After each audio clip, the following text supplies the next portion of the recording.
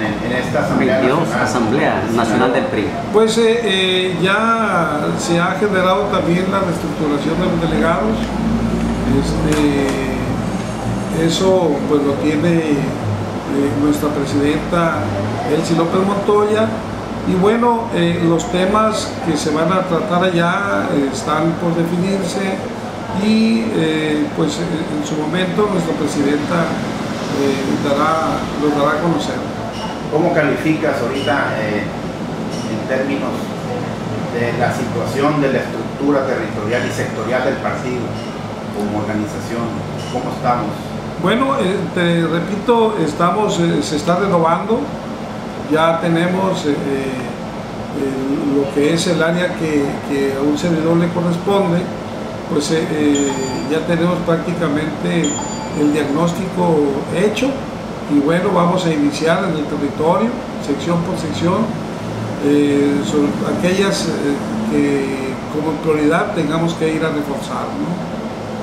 Y los sectores también ya se están renovando, ya hay un dirigente eh, en, los sectores, entonces vamos a, a seguir trabajando en ese reforzamiento de las estructuras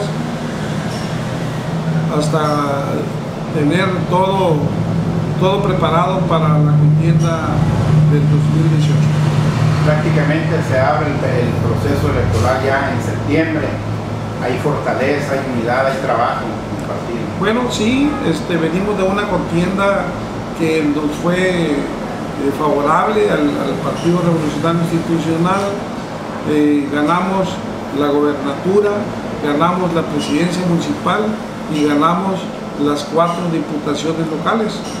Entonces venimos este, de una contienda que pues con excelentes resultados pero que este, en algunas áreas donde tengamos que reforzar, pues eh, iniciaremos ya prácticamente este programa.